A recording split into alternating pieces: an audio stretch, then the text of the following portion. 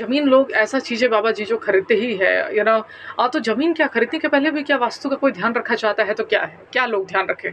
देखिए वास्तु शास्त्र में जो है ना, वास्तविक वास्तु जो होता है, ज़मीन खरीदने से पहले ही दिखाना चाहिए।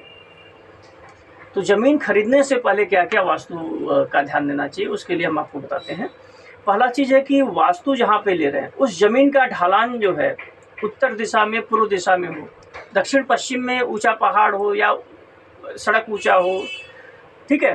ढलान अगर उत्तर पूर्व में होगा तो उस भूखंड का वो आसानी से उस पर निर्माण होगा उस पर सकारात्मक ऊर्जा होगी वहाँ पे वृद्धि होगा।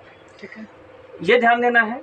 उत्तर पूर्व में अगर नदी क्षेत्र है तो उत्तर पूर्व में जिधर होता है ना उत्तर पूर्व में नदी वाला क्षेत्र मिल जाए वो बहुत अच्छा रहेगा। तालाब मिल जाए उत्तर पूर्व बहुत अच्छा रहेगा।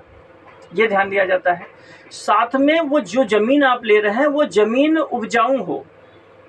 उसमें से आ, मतलब कि कोई भी फ़सल उगाने पे उगती हो वो ज़मीन शुद्ध है पूर्ण रूप से।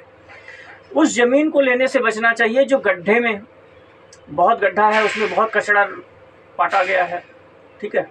और या उस ज़मीन पे जहाँ शमशान बन चुका है ठीक है? ऐसे ज़मीनों से बचना चाहिए। तो ऐसा ज़मीन हो एकदम शुद्ध उपजाऊ हो जिसका ढलान उत्तर पूर्व में हो और पहाड़ और या ऊँचा भाग जो है दक्षिण पश्चिम में, वो ज़मीन लेने पे आपको केवल आगे ले जाएगा। क्षेत्र का वास्तु होता है। अगर उस क्षेत्र को एक गाँव को बसाया जाए, उस सिस्टम से बसाया जाए तो उस गाँव का विकास होगा। उस नगर का विकास होगा। तो वास्तु बहुत व्यापक पैमाने पे प्रभाव डालता है। ये नहीं कि हाँ एक घर का ही, एक सीमित नहीं है। तो ज़मीन लेने से पहले आप उस एरिया का विकास होगा कि नहीं, वो भी जान सकते हैं। उसके हिसाब से आप अगर ले रहे हैं तो आपके लिए बहुत ज़्यादा वो लाभकारी होगा।